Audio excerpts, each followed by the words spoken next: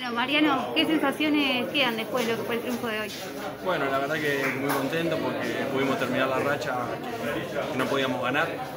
es una linda victoria venir acá y, sacar los tres puntos y pensar ya en el torneo del año que viene porque, bueno, nada, este todavía no terminó pero, pero bueno, necesitábamos ganar, así que contento, muy contento y en lo personal, hoy te tocó ser la figura del partido, ¿cómo te sentiste?